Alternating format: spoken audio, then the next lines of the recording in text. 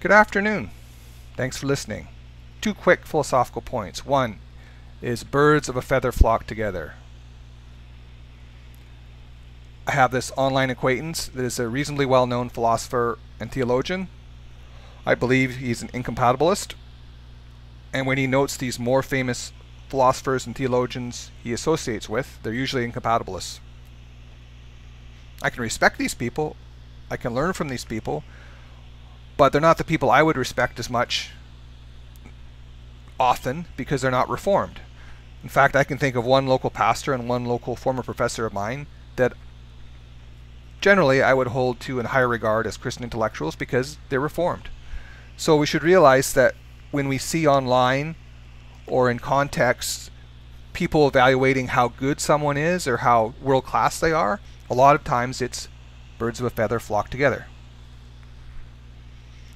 Second philosophical point one has to know when one is a student and when one is a teacher.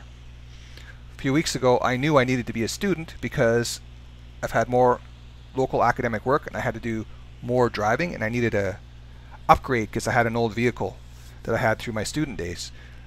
So I ended up getting a fairly newish SUV from a used car lot and I saved thousands of dollars because I listened to a friend that had been purchasing vehicles over the years and he said don't go to a manufacturer car dealership, manufacturer car lot, go to this used one and I saved several thousand dollars and also through this same used car lot I picked up brand new tires for around half price. Also around the same time I went to a Bible study and there was this engineer there and sometimes engineers can be arrogant because they're smart in a way but they're not so smart in other ways and this is true about people that are arts people too, but there tends to be more smart engineers in our society. And we were talking about incompatibilism, compatibilism during our study, and he just refused to listen to me because he didn't like my view.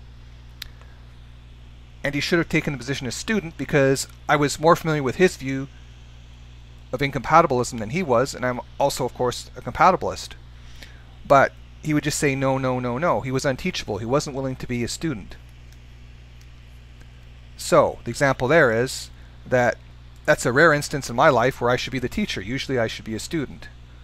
But we have to know when we should be either. So basically, I told this gentleman he needs to read more, and he hasn't returned to the study.